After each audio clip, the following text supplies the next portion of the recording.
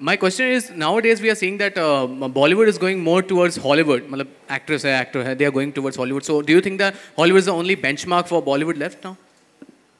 That, you know, actually that's a bit sad.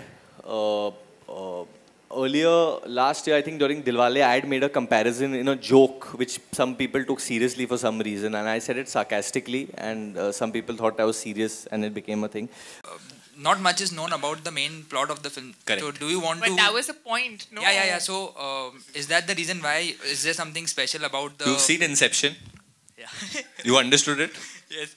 You I liked know. it. Yes. Then you like Dilwale also. Okay.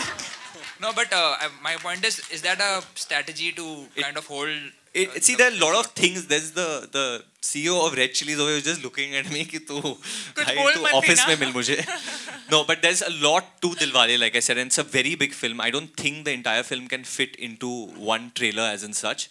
But uh, there is a plot, there is a story, and uh, it is totally logical. It does make sense. It's a it's a full-on 2015 film which has a lot of twists and turns also, and you can mark me on this one.